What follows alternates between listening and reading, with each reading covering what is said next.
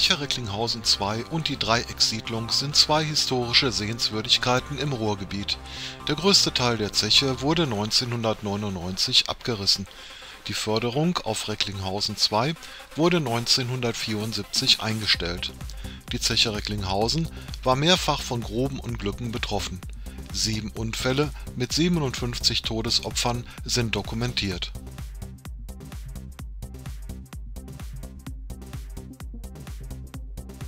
Heute sind von der Zeche die Kauen und Verwaltungsgebäude vorhanden.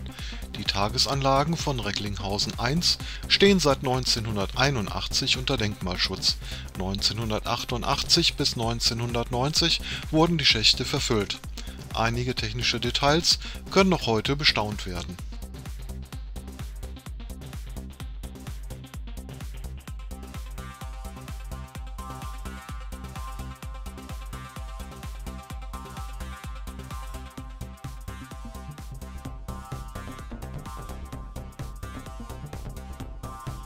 Der Regionalverband Ruhr errichtete einen Stadtteilpark. In der Mitte des Parks befindet sich das Fördergerüst. Hier sind schöne Spaziergänge möglich. Bänke laden den Besucher zum Verweilen ein. Direkt am Park befindet sich das Trainingsbergwerk Recklinghausen, das auch Führungen anbietet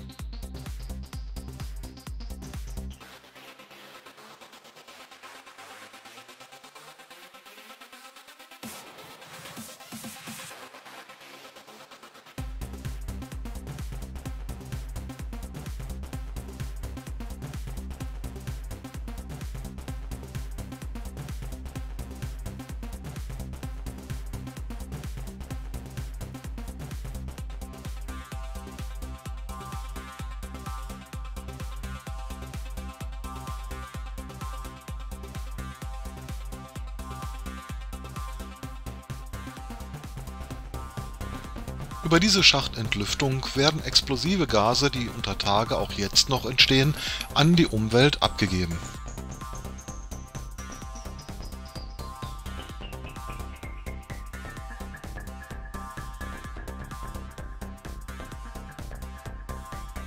In der Maschinenhalle befindet sich das Museum für Bergbau und Industriegeschichte. Sehr interessant ist die restaurierte Dampffördermaschine. Diese Dampfmaschine aus dem Jahre 1967 ist die letzte, die für industrielle Zwecke gebaut wurde.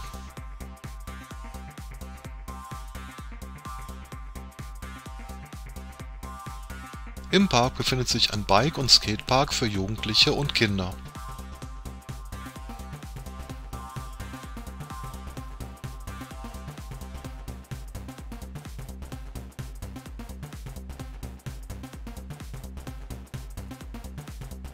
1886 entstand die erste Bergarbeitersiedlung, genannt Alte Kolonie.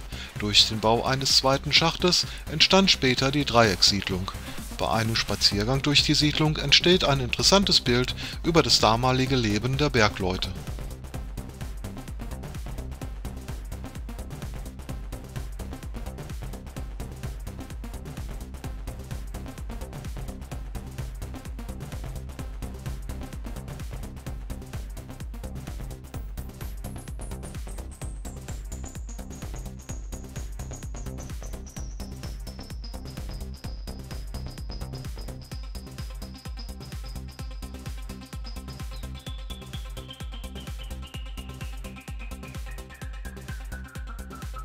Die Halde Hohewart befindet sich direkt hinter dem Zechenpark. Über diese Brücke erreicht der Besucher fußläufig die Halde